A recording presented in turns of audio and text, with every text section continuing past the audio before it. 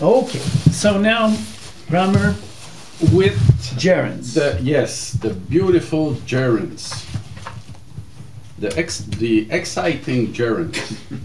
Yeah, well, for you, maybe. Okay, so I'm going to ask you and you answer. Without looking up. and even if I, if Oh, I look okay, up the, well, the, they are not completed. All right, all right. Okay, so complete the sentences with the correct form, gerund and infinitive of the words in parentheses. so, hard one for him. okay, so Hassan volunteered. The verb is bring some food to the reception. To bring. That's right. Mhm. I, started, I wanted to help a friend.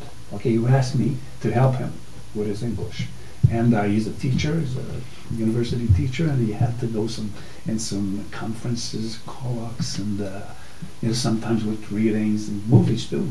So we decided to have lunch together, and then the lunch led to movies because I realized that he was a better talker than a listener. So we decided to well, we agreed to watch a movie, which was Gandhi, and we had a great time. We, we literally had fun.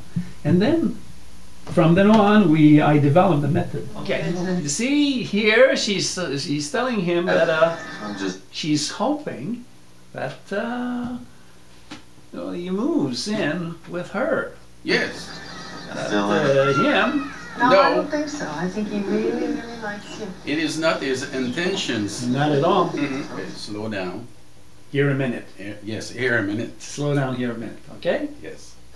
That's a little bit too much like getting married. There's a little bit too much on getting married. That's a little bit too much like Like, getting married. Okay, Getting so I'm gonna run it three times. You remember that scene? yes, Okay.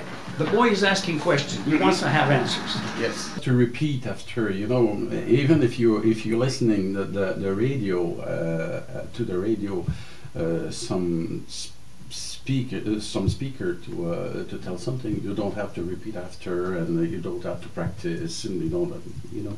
So it's more simple to. Uh, with a teacher, we we we can we can have you know um, uh, a suivi, and it's important.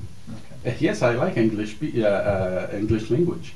It's for fun, and it's for me, of course, because uh, I like to travel, and it helps. It, it helps me to uh, to travel, of course.